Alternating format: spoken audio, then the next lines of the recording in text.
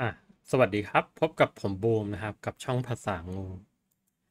เราจะมาทำแ a บนะครับ Google Cloud API นะครับ ก็รอบนี้จะเป็น Speed API นะครับ Quick Start ก็เริ่มกันเลยนะครับแ a บนี้ก็สั้นๆนะครับ ก็กด Start Lab เลยกรอก Password นะครับ แล้วก็ Open Link นะครับ in Incognito Window ใส่เข้าไปาไปเลยนะครับ login understand นะครับ เสร็จแล้วนะครับก็ agree นะครับ agree and continue นะครับ เสร็จแล้วนะครับสิ่งที่เราจะทำนะครับ เราจะ create API key กันก่อนนะครับ ก็ไปที่ navigator API นะครับ and service แล้วก็ credential นะครับ ก็ API Service นะครับ Credential นะครับ เข้าแบบนี้ก็ได้นะครับ ก็จะเห็น Service Account อยู่ด้านล่างนะครับ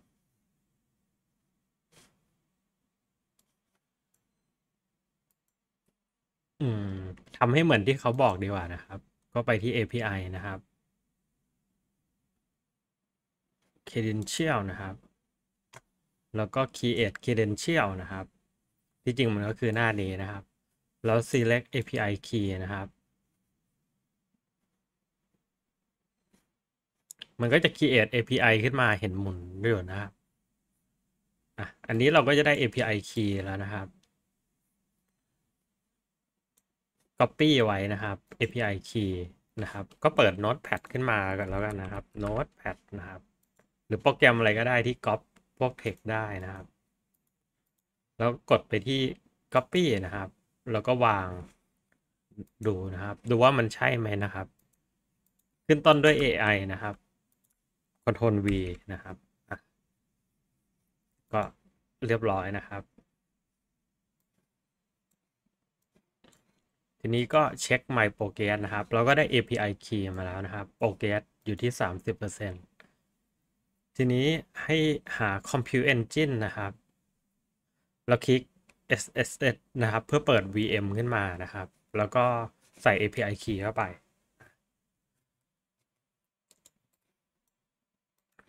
ก็น่าจะอยู่ตรงนี้นะครับ Compute Engine นะครับ ก็เข้าไปนะครับ แล้วเห็น SSH ตรงนี้นะครับ กดเข้าไปนะครับ เปิด VM ขึ้นมา ก็รอมันเปิดตรงนี้สักครู่นะครับ กด Authorize นะครับ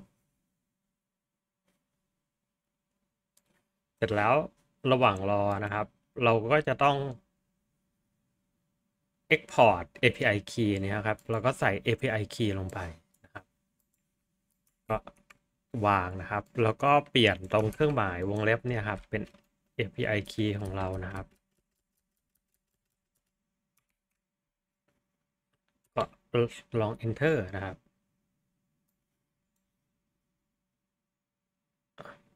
ทีนี้ก็ create speed API นะครับ task request.json นะครับ ก็ลองดู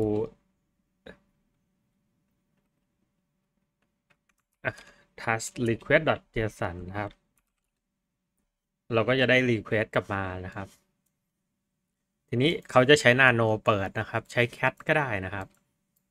ก็ในที่นี้เขาใช้ nano เราก็จะใช้ nano นะ เพื่อดูไฟล์ request ที่ส่งไปนะครับปุ๊บมันก็จะไม่มีอะไรนะ เป็นไฟล์เปล่าๆนะครับ ทีนี้ให้เราใส่ไฟล์นี้ลงไปนะครับ เป็น config ของ nano นะครับ ก็ encoding เป็น FLAC ภาษาเป็น US นะครับ แล้ว audio นะครับ ก็เอามาจากจาก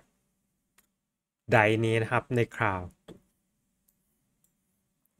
เสร็จแล้ว Ctrl X เพื่อเซฟแล้วกด Y yes นะ Ctrl X นะครับ แล้วก็มันจะขึ้นมากด Y นะครับอะอีกรอบนะครับ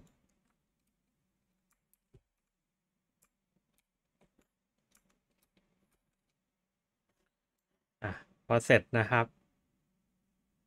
กด enter นะครับ เพื่อ close นะครับ ก็กด enter เลยนะครับ แล้วก็เซฟไฟล์ JSON ลงไปแล้วนะครับ แล้วก็กดเช็คนะครับ ทีนี้เราก็จะ call the speed API นะครับ ก็ไปเรียก post มานะครับ ก็ get link แล้ว post speed API นะครับคำสั่งนี้นะครับ แล้วดูว่ามันจะ return อะไรออกมานะครับ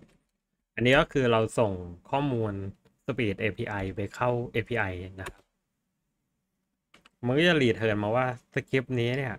ทันสคริปต์ที่มันได้ยินนะครับ ก็ how old is the Brooklyn Beach นะครับ มั่นใจ 98%อะไรประมาณนี้นะครับแล้วก็รันนะครับคำสั่งนี้เพื่อเซฟ response เป็นไฟล์ JSON นะครับ แล้วก็เพิ่มเข้าไปตรงนี้นะครับ ให้มันออกมาเป็นไฟล์ JSON นะครับเสร็จแล้วที่จริงเราก็ใช้ Nano นะครับ ใช้ cat ดีกว่านะครับ cat นะครับ resource นะครับ นี่คือสิ่งที่ return มา เราก็เก็บไฟล์เซฟไว้ได้นะครับ ก็กด call Speech API มาถึงตอนนี้ก็6 70%แล้วนะครับ ก็ที่จริงมันหมดแล้วนะ เดี๋ยวดูก่อนว่าเราลืมติ๊กตรงไหนนะครับ ก็กดตรงนี้นะครับอะก็เรียบร้อยนะครับ ตอนนี้ progress ร้อยเปอร์เซ็นต์นะครับ ก็เสร็จอย่างรวดเร็ว ก็กด edlab นะครับ submit นะครับ แล้วก็เรตติ้งให้เขาหน่อยนะครับ ก็